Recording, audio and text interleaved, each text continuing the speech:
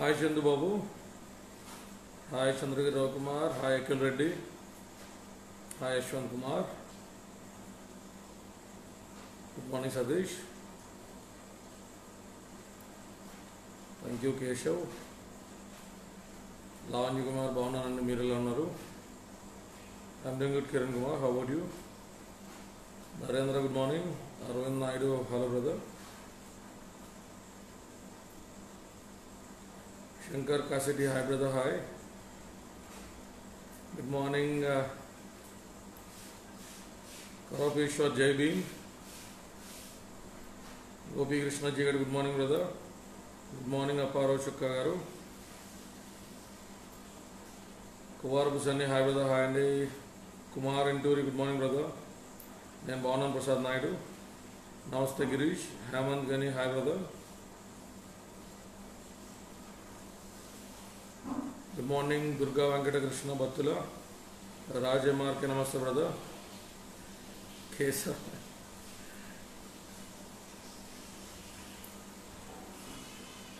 good morning good morning Surya Abhishek love you too Satish Jakkamudi Kamesh Kamu good morning brother Raja మెడిపోయిన good morning Chandu దగ్గరలో అవునా చెప్తాను ఇప్పుడు let's get in the topic అంటే అపోహలు తొలగించబడినటువంటి కార్యకర్తలతో కానీ లేదా అపోహలు నిండి ఉన్నటువంటి సైనికులతో కానీ అద్భుతాలు సాధించినటువంటి ఘనతలు చరిత్రలు ఎక్కడా లేవు. అపోహలు అనుమానాలు మనసులో నింపుకున్నప్పుడు ఏ విధమైనటువంటి గమ్యానికి కూడా ఎంత మోతుబరి తోపు తురుంకాన్ పెద్ద సుల్తాన్ వెనకాల నుంచి మనల్ని మోటివేట్ చేసి ఎదరికి తోచినా కూడా ఖచ్చితంగా మనం ఎదరికెళ్ళలేం సో రమాదేవి గారు గుడ్ మార్నింగ్ అండి గుడ్ మార్నింగ్. నేను కమెంట్స్ డిస్ట్రాక్ట్ అవుతున్నా కాబట్టి పది నిమిషాలు అయిపోయిన తర్వాత లాస్ట్లో మీ అందరితో మాట్లాడతాను సో ఎంత పెద్ద ఎంత పెద్ద భయంకరమైనటువంటి రాజు ఎంత పెద్ద భయంకరమైనటువంటి యుద్ధాలు చేయించినటువంటి సైన్యాధ్యక్షుడు మోటివేట్ చేసిన అపోహలు అనుమానాలు నిండి ఉన్నటువంటి సైన్యం చేత గమ్యానికి కానీ యుద్ధాన్ని కానీ జయించినటువంటి దాఖలాలు చరిత్రలో లేవు. కనుక ముందు అపోహలు తొలగించేటువంటి ప్రయత్నం చేయాలి. కార్యకర్తల్లో ఉన్నటువంటి అపోహలు అంటే నా గ్రౌండ్లో ఎక్కువ తిరిగేటువంటి అవకాశం భగవంతుడి దయ వల్ల అలాగా పవన్ కళ్యాణ్ గారు లేకపోతే ఆయన చుట్టుపక్కల ఉండే వాళ్ళు నిలువరించుకోవడం వల్ల నాకు ఒక నెల నెలన్నర పాటు జనాల్లో లోతుగా తిరిగేటువంటి అవకాశం ఒక ఇరవై ఇరవై రెండు నియోజకవర్గాల వరకు నాకు దొరికింది కాబట్టి కార్యకర్తలు ఉన్నటువంటి అపోహలు నాకు అవగతమైన మేరకు నేను అర్థం చేసుకున్న మేరకు మీ ముందు ప్రస్తావించి వాటిల్లో ఉన్న వాస్తవ వాస్తవాలు మీతో చర్చిస్తాను ఇప్పుడు అన్న అభ్యర్థులు మంచోళ్ళు పెట్టలేదు అభ్యర్థులు డబ్బులు ఖర్చు పెట్టలేదు అభ్యర్థులు మా కనీస అవసరాలు తీర్చలేదు. ఇటువంటి అభ్యర్థులు స్క్రీనింగ్ కమిటీ మాకు అభ్యర్థులను ఎలా నిర్ధారించింది? ఇటువంటి అభ్యర్థులు ముందు ఒక మాట చెప్పి తర్వాత మాట చెప్పారు. ప్రచారానికి పదకొండైనా కూడా బయటకు రాలేదు. ప్రచారం సరిగ్గా చేయలేదు కష్టపడలేదు మా ఆకాంక్షల మేరకు పోరాడలేదు అనేటువంటిది ప్రధానంగా వినబడుతున్నటువంటి అభియోగాలు. అంటే అది ఒక పాయింట్ అయినా దాన్ని విభిన్నమైనటువంటి కోణాల్లో విశ్లీకరించినప్పుడు మనకి వచ్చేటువంటి అంశాలు. కార్యకర్తలు గమనించాల్సింది ఏంటంటే ప్రతి పార్టీలో అభ్యర్థులు కొరత ఉంటుంది ఎంచుకున్నటువంటి అభ్యర్థులతో ఆయా నియోజకవర్గాల్లో కార్యకర్తలకు అసంతృప్తి ఉంటుంది. వైఎస్ఆర్సీపీనా టీడీపీనా కాంగ్రెసా బీజేపీనా you you go to any other state regional parties also అభ్యర్థుల కొరత ఖచ్చితంగా ఉంటుంది. ఉన్న అభ్యర్థుల మీద ఖచ్చితంగా ఖచ్చితంగా నిరాశ నిస్పృహలు అనేటువంటి ఆయా నియోజకవర్గాల్లో శాతాలు మారుతాయి కార్యకర్తలు ఉంటాయి. ఇక్కడ మీరు అర్థం చేసుకోవాల్సిందల్లా ఏంటంటే పవన్ కళ్యాణ్ గారు చేసినటువంటి ప్రక్రియకు మించి అన్న రెండు నెలల ముందు చేయొచ్చు కదా ఒక చక్కటి ప్రశ్న. రెండు నెలల ముందు మూడు నెలల ముందు అభ్యర్థులు మనం ప్రకటించామనుకోండి ఆ అభ్యర్థులకు ఉన్నటువంటి బలాబలాలు లేదా బలహీనతలు మన ప్రత్యర్థి పార్టీలు అంచనా వేసుకోవడానికి ఆస్కారం ఇచ్చినట్టు ఉంటుంది. అసలే బాలారిష్టాల్లో కొట్టుమిట్టాడుతున్నటువంటి కొత్త పార్టీలకి అభ్యర్థుల్ని ఊరుకు ముందు ప్రకటించడం అంటే రెండు నెలల మూడు నెలల ముందు ప్రకటించడం అనేటువంటిది చాలా తలకైపోటు అంశం అవుతుంది అంటే ఒక అభ్యర్థిని ఒక నియోజకవర్గంలో పెట్టుకుని ఒక మూడు నెలల ముందు నుంచి ఈ నియోజకవర్గం మీరు చూసుకుంటే ఇన్ఛార్జ్ ఇచ్చేయడం ఇప్పుడు మనకు తేలికైతుంది. ఇప్పుడు రానున్న రోజుల్లో రెండు వేల ఇరవై నాలుగు ఎలక్షన్కి ముందు మనం అవసరమైతే ఒక సంవత్సరం ముందు నుంచి లేదా ఇప్పుడే నియోజకవర్గాల వారిగా ఒక ఆరు నెలల కసరత్తు చేసి మనం నియోజకవర్గ ఇన్ఛార్జీలు పెట్టుకుని ఇప్పుడు చేసుకోవచ్చు.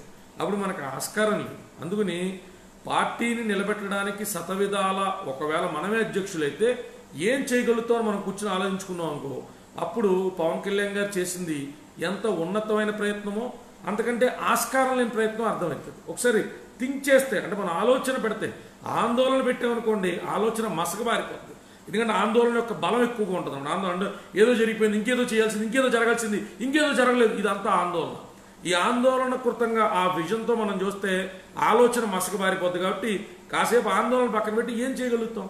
ఇప్పుడు జనవరిలో ప్రకటించాం అనుకో జనవరి ఫిబ్రవరి మార్చి మూడు నెలల పాటు ఇదిగో మా అభ్యర్థులు కొన్నోళ్ళు కొనుక్కోండి కొట్టుకున్న వాళ్ళు కొట్టుకోండి కేసులు పెట్టిన పెట్టించుకోండి అని మన అభ్యర్థులు ఊరికి ముందు ప్రకటించినట్టు అయితే సో అది పాసిబుల్ కాదు. ఇక అభ్యర్థులు కార్యకర్తలు కనీస అవసరాలకు కూడా డబ్బులు ఖర్చు పెట్టలేదన్న. ఖచ్చితంగా ఎలక్షన్ కమిషన్ నిర్దిష్టాల మేరకు ఇరవై లక్షలను ముప్పై లక్షలను నలభై లక్షలను కొంత రుసుము ప్రచారానికి ఖర్చు పెట్టుకునేటువంటి వెసులుబాటు ఉన్నది. అది ఖచ్చితంగా ఖర్చు పెట్టాలని కాదు. అంతవరకు ఖర్చు పెట్టాలన్నటువంటి ఒక వెసులుబాటు ఉంటుంది. స్క్రీనింగ్ కమిటీ కానీ పవన్ కళ్యాణ్ గారు కానీ అభ్యర్థుల్ని ఎంచుకున్నప్పుడు వాళ్ళ ఆలోచన విధానం ఏ రకంగా కొనసాగి ఉంటుంది అంటే నేను చూసిన కాడికి మంచి అభ్యర్థ కాదా? గత నేపథ్యంలో అక్రమార్జితను సంపాదించినటువంటి తీరువో లేకపోతే అక్రమ కేసులో ప్రజల్ని బాధలు పెట్టినటువంటి నేపథ్యమో ఉన్నదా? లేదా సంపన్నుల కుటుంబాల నుంచి వచ్చి కేవలం అధికారము పదవు అనేటువంటిది ఒక ఆభరణం కింద అంటే ఒక ఆర్నమెంట్ కింద ధరించాలనుకున్న ఉద్దేశం ఉందా?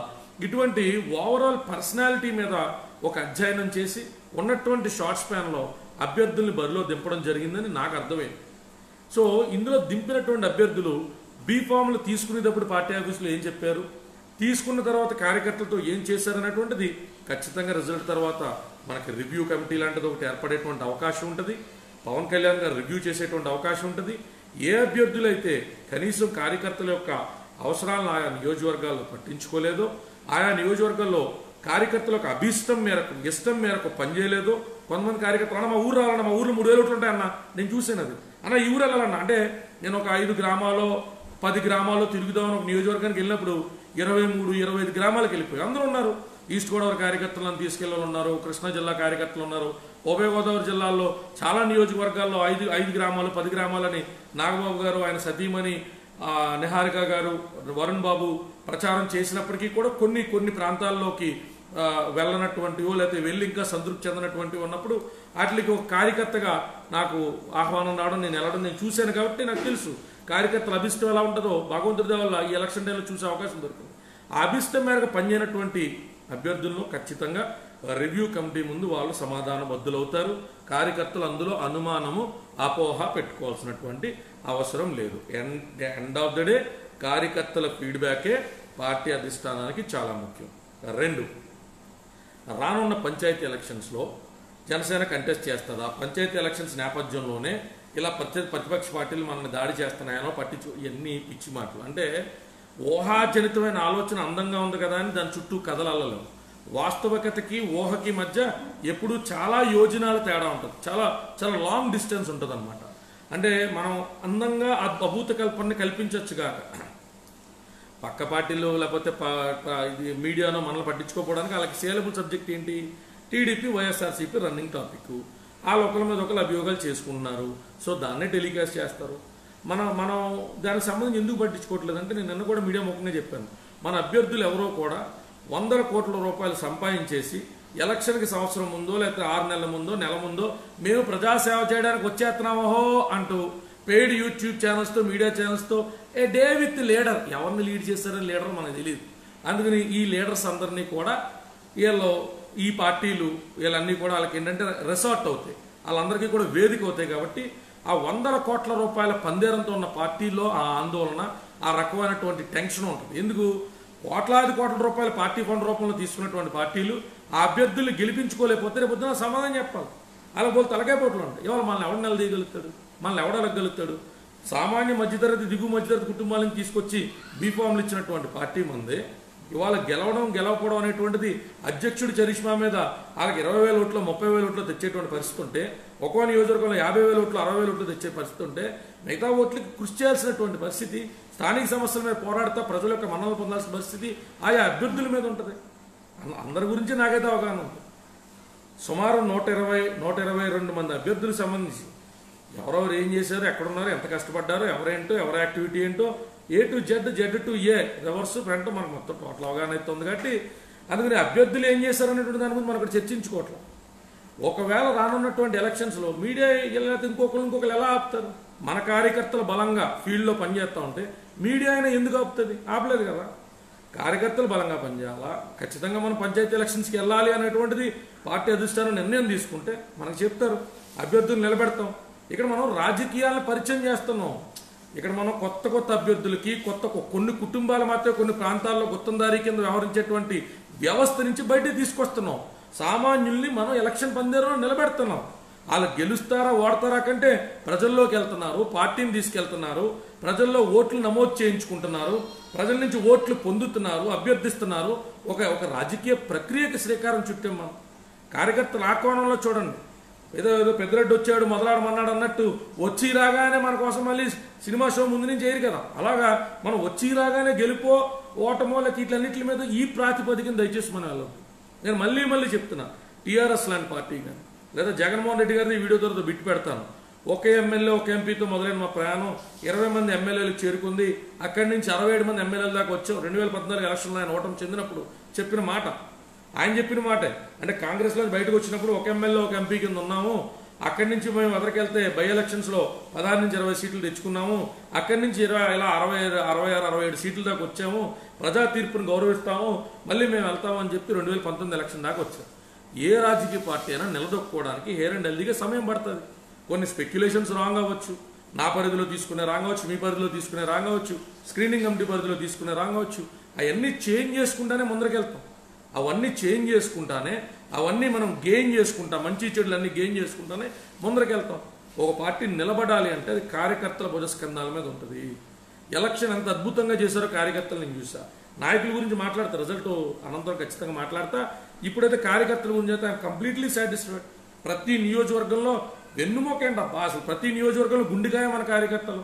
స్వచ్ఛందంగా ముందరకు వచ్చి ఒక్క రూపాయి ఆశించకుండా వాళ్ళ బళ్ళు వాళ్ళ పెట్రోల్ కొట్టించుకుని వాళ్ళ కారులో డీజిల్ కొట్టించుకుని వాళ్ళ ఆటోలు వేసుకుని వాళ్ళ సైకిళ్ళు వేసుకుని వాళ్ళే హారంలో వాళ్ళే బోర్లు వాళ్ళే జెండాలో. నేను చూసా నేను చూసిన కాడి నియోజకవర్గాల్లో కార్యకర్తలే గుండుగా. కార్యకర్తలు ఎంత కష్టపడ్డారో నేను చూసా. కార్యకర్తలు లేదంటే జనసేన ఉన్న ఎలక్షనీరింగ్ చేసేటువంటి అవకాశమే లేదు. అసలు అందులో డౌటే లేదు. కార్యకర్తలు అంత అద్భుతం చేశారు నేను చూసా. ఒక్కోసారి అభ్యర్థి డబ్బులకి నిజంగా ఉండి ఖర్చు పెట్టిన మహానుభావుల గురించి మాడతాను వాళ్ళ గురించి ఎలా ఖచ్చితంగా మాడతాను డబ్బులు లేక నిజంగా తడుపుకున్నటువంటి అభ్యర్థులకి కార్యకర్తలు ఎంత అండదండగా నిలిచారో నేను చూశాను ఒక్కొక్క సామాన్యమైన అభ్యర్థి అంతకుముందు ఆ నియోజకవర్గంలో సరిగ్గా చాలామంది ప్రజలు ప్రజలకు తెలియనటువంటి అభ్యర్థిని కూడా కార్యకర్తలు భుజాల మీద మోసుకుని తిరగడం నేను చూశాను. అందుకు నేను చెప్పేదలేనండి ఎక్కడ ఆత్మవిశ్వాసం కోల్పోవద్దు. ఇది మన బిగినింగ్ అభ్యర్థులను పెట్టాం ఎలక్షన్కి వెళ్ళాం ప్రజలకు మన సిద్ధాంత బలంతో ముందరికి వెళ్ళాం. ఎన్నోట్లు వస్తే అక్కడి నుంచి మనం అక్కడి నుంచి ఎక్కడికి వెళ్ళాలి? ఎంత డిఫరెన్స్ ఉంది? మనం అనుకున్న గమ్యానికి ఒక ఎనభై సీట్లు కొట్టాలనుకున్నాం ఒక వంద సీట్లు కొట్టాలనుకున్నాం అనుకో వచ్చిన సీట్లకి ఆ మిగతా సీట్ల మధ్య గ్యాప్ అంతా. ఏయో నియోజకవర్గాల్లో ఏయో వార్డుల్లో ఎక్కడెక్కడి నుంచి మనం తక్కువ ఓట్లు పడ్డాయి ఓటమికి కారణాలు ఏంటి లేదా గెలుపుకి కారణాలు ఏంటి రెండు విశ్లేషించుకోవాలి. సో ఇదొక ప్రక్రియ ఇదొక ఇదొక రెగ్యులర్ సైక్లిక్ ప్రాసెస్ ఇది. అంతేగాని ఒక్క రోజులో ఒక్క ఎలక్షన్తో అయిపోయే తతంగం కాదు. ఖచ్చితంగా రిజల్ట్ ఎప్పుడెప్పుడు వస్తుందో నేను ఆతృతగా చూస్తున్నా. అది మనకి ఛాన్స్ కదా. ఇప్పుడు నేను బీటెక్ ఎగ్జామ్ రాసేవాడిని కైనమెటిక్స్ ఆఫ్ మెషినరీ డామో లేకపోతే ఫ్లూయిడ్ మెకానిక్స్ లేకపోతే అప్లైడ్ ఫిజిక్స్ ఊప్స్ త్రూ చాలా ఎగ్జామ్స్ రాసేవాళ్ళం. ఎగ్జామ్స్ అన్ని గోతులు వేయాలి ఒకటి రెండు సబ్జెక్ట్ లాగినాయి అనుకో మాకు మాకు స్పెక్యులేట్ చేసుకోవడానికి ఆస్కారం ఉండేది. ఎన్ని మార్కులు వచ్చినాయి ఏ క్వశ్చన్లో పోయింది ఎగ్జామ్ పేపర్కి వెళ్ళిన తర్వాత ఏ సిలబస్ ఏ ఏ దేనిలో నేను రాయలేకపోయాం. అంతే అది. టెన్త్ క్లాస్ నుంచి మాకు అదే రకంగా ఉంటుంది. ఎగ్జామ్స్ లాగే రిజల్ట్స్ కూడా. రిజల్ట్స్ వచ్చిన తర్వాత హెయిర్ అండ్ హెల్దీ ఎక్కడ ఓకే ఎన్ని నియోజకవర్గాలు సీట్లు వచ్చినాయి. జనసేన నలభై వచ్చినాయి యాభై వచ్చినాయి వంద వచ్చినాయి ముప్పై వచ్చినాయి ఎన్ని వస్తాయండి ఆ వచ్చిన గారికి ఓకే రైట్. ఈ నియోజకవర్గాలు ఇది తప్పు చేసాం ఈ అభ్యర్థులు రాంగ్ పెట్టాం ఇది ఇలా చేసాం ఇక్కడ ఈ పని చేయాల్సింది ఈ పెట్టాల్సింది. ఇలా ఒక క్యాల్కులేషన్ వస్తాం. Until and unless until and unless ఏదో ఒక ప్రక్రియ చేయకుండా పర్ఫెక్షన్ ఎలా వస్తుంది? ఇండియా టీం వరల్డ్ కప్ కొట్టిన ఇండియా టీం రావడానికే మనకి రెండు మూడు దశాబ్దాల సమయం పడితే ఒక కూర్పు అంటుంది దాన్ని. అంటే బలవంతులు బలమైనటువంటి అభ్యర్థులు అందరూ కూడా ఒక పార్టీలో ఒక ఎలక్షన్కి వెళ్ళడం అనేటువంటిది ఒక కూర్పు. ఆ సరైనటువంటి కూర్పు కోసం మనం నిత్య ప్రయత్నం చేయాలి. అంతేగాని అది ఒక్క రోజులో అయిపోలేదన్నా రేపొద్దున రేపొద్దున కూడా మళ్ళీ బరాబర్ నిలబడతాం పోయి ఒకవేళ అధ్యక్షులు వారు కాంక్షిస్తే మరి ఇవాళ రేపో ఎలక్షన్ అంటే చెప్పలేం కానీ యాక్చువల్గా అయితే సెప్టెంబర్ అక్టోబర్లో రావాలి ఇఫ్ నాట్ రాంగ్ ఒకవేళ హైరాన్ హెల్దీగా ఒక రెండు మూడు నెలల వ్యవధిలో పంచాయతీ ఎలక్షన్స్ వస్తే ఖచ్చితంగా అభ్యర్థులు పెట్టొచ్చు. అభ్యర్థులు మనం పంపచ్చు బరిలోకి. గెలుపో ఓటమో దూర్కీ బార్. అభ్యర్థులు అయితే పార్టీకి ఏర్పడుతున్నారు కదా. జనసేన పంచాయతీ ప్రెసిడెంట్ అభ్యర్థి జనసేన ఎంపీటీసీ అనో లేదా జనసేన జెడ్పీటీసీ అనో జనసేన మున్సిపల్ కౌన్సిలర్ అనో జనసేన చైర్పర్సన్ అనో అభ్యర్థులు పెడతాం భయ్. ప్రజల్లోకి పోతారు. Let let this exercise start zero money politics అనేటువంటి ఎక్సైజ్ మొదలు పెడితే క్రమేపీ ప్రజలు దానికి ఆకర్షితులవుతూ మొదలవుతారు. ముందు పది శాతం ఇరవై శాతం యాభై శాతం అరవై శాతం అట్లాగే కదా గ్రాఫ్ అనేటువంటిది ఇంక్రీజ్ అవుతుంది. ఏదో జరిగిపోతుందన్నా ఏదో పండగ ఏం చేసుకుంటాం? ఏం చేసుకుంటాం? జూన్లో రిజల్ట్ వచ్చిన తర్వాత ఏ పార్టీ గెలిచినా జూన్ నెలాఖరికి మనమే గెలిచాం అనుకుందాం. జూన్ నెలాఖరికి కూడా ఇంకా మా ఫెస్టివల్ మూడ్లో ఉన్నా అంటావా? జూలై నెలాఖరికి కూడా డ్యాన్స్లు వేస్తావా? ఆగస్టుకి మనమే గెలిచినా చెయ్యలేము. ప్రజలు ఆతృతగా చూస్తుంటారు. హామీలు నమ్మి ఓట్లేస్తారు. హామీలు అమలు. అక్కడ అక్కడ మళ్ళీ మనకు పని దొరుకుతుంది. అక్కడ ప్రజల లబ్ధిదారులు ఎంతమంది పథకాలు ఎంతమందికి చేస్తున్నాయి ప్రభుత్వ పనితీరు ఏంటి? ప్రజా అభిష్టంగా ఉందా ఆమోదాయకంగా ఉందా ఆమోదాయకంగా లేదా? అసలు ఏ రకంగా మళ్ళీ వనరుల్ని ఆ పార్టీలు ఈ పార్టీలు దూసిన అక్కడ మనం గేర్ కాయాల? అక్కడ మనం డాగగల్లేసి చూడాలా? అక్కడ మన పార్టీ సిద్ధాంతాన్ని బలంగా తీసుకెళ్ళాలి అక్కడ మనం ప్రజాస్వామ్యబద్ధంగా ప్రశ్నించడానికి వచ్చినటువంటి పార్టీ స్టాండ్ తీసుకోవాలి? అక్కడ నిలబడాలా? అక్కడ మనకు స్కోప్ వస్తుంది. అది మానేసి. అన్న పదొత్త పాతికొత్త ఏమన్నా పందులు జోదాలు జోదాలు ఏమన్నా కాస్తున్నారా పెద్దవాడు పేజీకి మెసేజ్లు పెడతారు ఎన్నో వస్తాయని చెప్పి. ఇప్పుడు ఎన్నొత్తాయని వస్తాయని నేను చెప్పిన దాన్ని బట్టి జోదం ఏమన్నా కాయదలుచుకున్నారా మీలో ఎవరన్నా జోదగాలు ఉంటే దయచేసి పక్కెళ్ళు. ఈజీ మనీ ఈల్డింగ్ మీద. అప్పులు సప్పులు అనేది అర్థం చేసుకుంటాం. అరే కష్టపడ్డారా ఒక్కోసారి అమౌంట్ చేయదా రాలేదు అప్పు చేసుకున్నాడు పది కింద మీద కష్టపడి అది వేరు. జోదం ఏంటి? ఎన్ని సీట్లు వస్తాయని పదే పదే ఎందుకు అడుగుతున్నారు? ఎన్ని సీట్లు వస్తే మీకు వచ్చే నష్టం ఏంటి కార్యకర్తలు చెప్పాలి. ఎన్ని సీట్లు వస్తే మీకు వచ్చే నష్టం ఏంటి? ఎన్ని సీట్లు వస్తే మీకు వచ్చే లాభం ఏంటి? ఏ వచ్చినా మన గొంతుకులు ఇలా బలంగా వినపడేటువంటి మాధ్యమాలు మనకున్నాయి. అసెంబ్లీ సాక్షిగా మన అభ్యర్థులు వెళ్తారు వాళ్ళు బలంగా పోరాడతారు పోరాడాలని కోరుకుంటాం. ఆకాంక్ష వేరు ఆశయం వేరు. ఆకాంక్ష ఎప్పుడు తాత్కాలికంగా ఉండొచ్చు ఒక్కోసారి దీర్ఘకాలికంగా ఉండొచ్చు. కానీ ఆశయం అనేటువంటిది నెరవేరేదాకా ఉంటుంది. మన ఆకాంక్ష ఆశయం. నా వరకైతే జనసేన అధికారంలోకి రావాలా? ప్రజలకు మంచి జరగాలని ఆశయం. ఆశయాన్ని మీరి ఇప్పుడు ఇప్పుడు వచ్చేయాలనేటువంటి ఆకాంక్ష తొత్తరైతే నాకు లేదు. అందుకు దయచేసి కార్యకర్తలు మాత్రం ఎటువంటి అపోహలకి తావిచ్చి దయచేసి మాత్రం దాన్ని ఎక్కువ ఆ, పెంట చేసుకున్నటువంటి పరిస్థితి అయితే వద్దు. ఇప్పుడు అందరికీ క్లియర్గా ఉందా?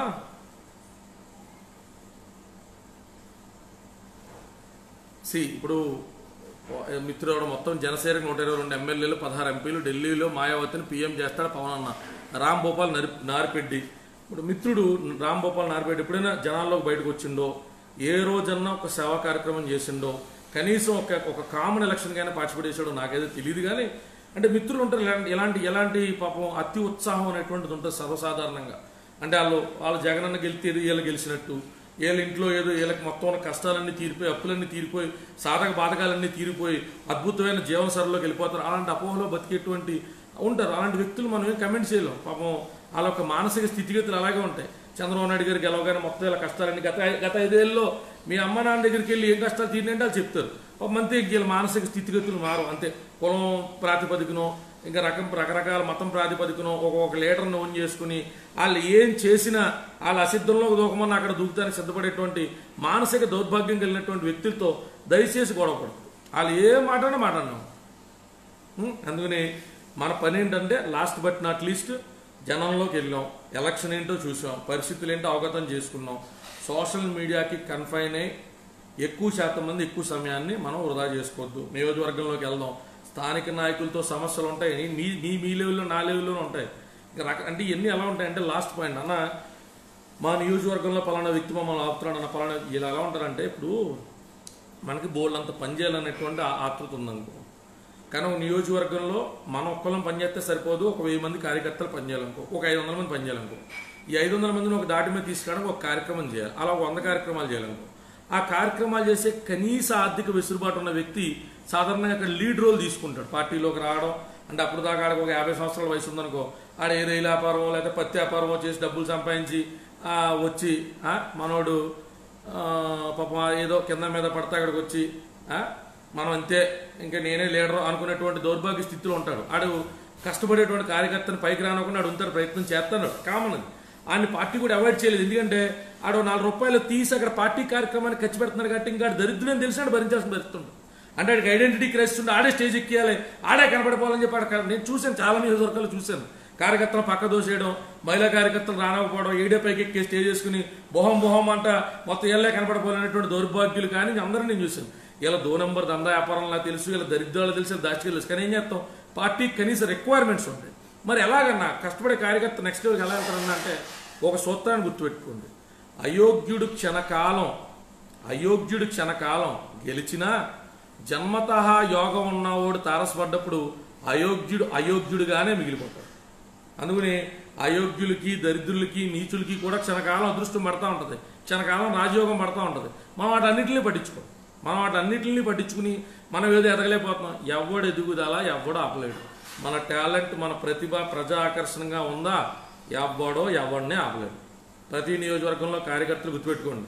మీ కెపాసిటీ మీ క్యాపబిలిటీ మీ వార్డు మొత్తం కూడా మీరు ప్రభావితం చేయగలరా? వందల సార్లు చెప్తున్నా. మీ టౌన్ మీరు ప్రభావితం చేయగలరా? మీ జిల్లాని మీరు ప్రభావితం చేయగలరా? ఐదైదు జిల్లాలు మీరు ప్రభావితం చేయగలరా? మీరు నాయకుల కింద ఎదగడంలో ఏ కోన్ కోన్కెస్గా గొట్టంగాడు ఆపలేడు.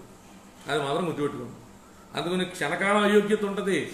ఏదో వాళ్ళ ప- వైట్ అండ్ వైట్ వేసుకున్న వల్ల పొలిటీషియన్ కాదబ్బా. అది గుర్తుపెట్టుకోండి. అలా అని చెప్పి పార్టీల్లో పదవులు పొందిన వాళ్ళు పొలిటీషియన్స్ కాదు. అందుకని దయచేసి మీరు పదవులకు అతీతంగా వైట్ అండ్ వైట్లో హడావడి ఆర్భాటానికి అతీతంగా నాయకత్వం అంటే ఆ ఊర్లోనూ ఆ వార్డులో నువ్వు ఉన్నావు అంటే సమస్య నీ దగ్గరికి రావాలనిపించేటట్టు ఎదగాలి. అది అది మన టార్గెట్ అవ్వాలి. అరే పలానోడి దగ్గరికి వెళ్తే పలానా పలానా ఎస్ఐ నిలదీస్తాడు రాబోయ్ పలానా అక్రమ కేసు వస్తే కోర్టుకి వెళ్ళి మన కోసం ఛాలెంజ్ చేస్తారు రాబోయ్ పలానా వాటర్ రాలేదంటే మన కోసం పోరాడతారు రాబోయ్ పలానా కరెంట్ గురించి మన కోసం పోరాడతారు రాబోయ్ మనకి ఏదైనా పింఛన్ రాలేదంటే మన కోసం మాట్లాడతారు రాబోయ్ ఎంఆర్ఓ ఆఫీసు ఆర్డీఓ ఆఫీసు ఏ ఆఫీస్కైనా మన ఇంట్లో పెద్ద కొడుకులా వస్తాడు అనిపించుకోవడం నాయకత్వం. నియోజకవర్గం అలా పట్టులో తెచ్చుకుంది ఎవడబ్బా ఆపిది? ఎవడవన్నా ఆపుతాడు? World is free it's large sky is the limit ఎవడెక్కడికైనా ఎదగచ్చు. ఎవ్వడు ఎవడిని ఆపలేడు. తాత్కాలికంగా ఏమైంది? పవన్ కళ్యాణ్ గారు వచ్చినప్పుడు మా అయితే మీ ఊర్లో స్టేజ్ ఎక్కిస్తారు ఎక్కించకపోతే మీ నాయకత్వం అయిపోద్దా? ఎక్కిన వాళ్ళందరూ నాయకులు అవుతారా? ఉదాహరణ అడుగుతున్నా. పవన్ కళ్యాణ్ గారి చేత ఎండార్స్ చేయించుకోలేదని బాధపడే కార్యకర్తలను అడుగుతున్నా. ఆయన ఎండార్స్ చేయడం వల్ల ఉన్నతమైన విలువలు ఉన్న వ్యక్తి పలానా పేరు చెప్పాడు పలానా గురించి మాట్లాడారు అని ప్రజలు ఇంకా ఎక్కువ వీక్షిస్తారు. ఆ వీక్షణలో నిజంగా అసమర్థుడు అయితే రాలిపోతాడు కదా. లాజిక్ మిస్ అవ్వకండి. అన్న పలానా ఊర్లో మేము కష్టపడితే ఎవరినో ఎక్కించి ఆ లోకల్లో ఉన్న నాయకులు ఆడి గురించి చెప్పించారన్న? చెప్పించినామండి చెప్పించినామండి పవన్ కళ్యాణ్ గారు లాంటి వాళ్ళతో అసమర్థులు పేరు పలికించుకోవడం ఇంకా ప్రమాదం మీకు తెలియట్లేదు. ఎందుకంటే అలా పలికించుకున్న తర్వాత లిటమస్ టెస్ట్కి లోనవుతారు ప్రజల్లోకి వెళ్తారు. పవన్ కళ్యాణ్ గారు ఇతను లీడర్ అన్నారంటే ఏంటంటావు? ఆయన సొత్తం మొదలెడతారు. మీరు చెప్పినట్టు అంటే నిజంగా డమ్మీ గడు అనుకో. తేలిపోతాడు కదా. తేలిపోతాడు కదా అని అడుగుతున్నా. రాయో రత్నం అయితే ములుగుద్ది కానీ చెక్కో లేకపోతే ఇంకోటి అయితే తేలిపోద్ది కదబ్బా. అందుకు దయచేసి అటువంటి ఆలోచనలు ఏం పెట్టుకోవద్దు. ఆ రోజు మన కాదా తలదించుకుని పక్కన నుంచోండి దూరంగా నుంచోండి స్టేజ్ కింద నుంచోండి. ఏమవుద్ది? ఏమవుద్ది? ఏమో ఏమో నాయకుడికి కాని మెటీరియల్ నాయకుడి కింద మలచలేం నాయకుడు అనే మెటీరియల్ని మనం తొక్కలేం. ఇది ఇది ఇది ఇది చరిత్ర చెప్తున్న సూత్రం. ధోని టీంలోకి రావడం లేట్ అయింది కదా అని టీంలోకి వచ్చిన తర్వాత వరల్డ్ కప్ చేతికిచ్చుకోవడం లేట్ అయిందా? ఇప్పుడు క్రికెట్ బోర్డు మెంబర్స్ ఇంకొకళ్ళు ఇంకొకళ్ళు లేకపోతే ఏ స్పోర్ట్స్ దాంట్లో చూడండి. మా ఫాదర్ ఆ డిపార్ట్మెంట్ నుంచి వచ్చాడని నాకు తెలుసు. ఎంతగా ఎంతకాలం మేరీగా చూడండి అప్పుడు ఎవరు ఆపుతారు అప్పుడు ఎవరు ఆపలేరు? అందుకని ఉండరు ఉండరు పాపం మానసికంగా అన్న అన్నయ్య శ్రీరెడ్డిపై కమెంట్స్ నేను అంత ఖాళీగా లేను కిషోర్ చింత. నేను మొన్న రాజకీయం తర్వాత కొద్ది కొత్త రాజకీయ విధానాలు నేర్చుకున్నా. ఇప్పుడు సోషల్ మీడియాలోకి వచ్చి నన్ను ఏమంటున్నారు వాళ్ళ ఆ ఆటల మీద మనం శ్రమ పెట్టి టైంని వేస్ట్ చేసుకునే టైం అయితే లేదు. తిట్టుకొని ఉండి part and parcel of political travel.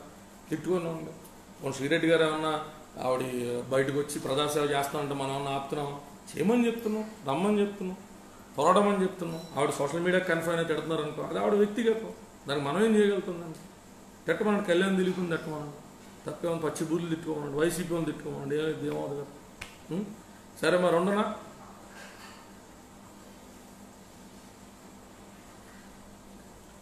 అదే చెప్తున్నా. ఎవరిది? రాజేష్ పిల్ల నా, నా, నేను నేను అదే చెప్తున్నా ఇప్పుడు సమర్థత అనేటువంటిది అది ఒకళ్ళు పెంచలేరు అన్న. ఇప్పుడు ఎవరు ఎండార్స్ చేస్తే పెరిగేదో ఎవరు ఆపితే తరిగేదో కాదు అది. అది అది జరగదు అలాగా. మీకు కావాలంటే మీరు మీరు ట్రావెల్ మొత్తం చూడొచ్చు ఎనీ పొలిటికల్ పార్టీ చూడొచ్చు. అలా అవదు అది. అది ఒక రిగ్రెస్ ప్రయత్నం.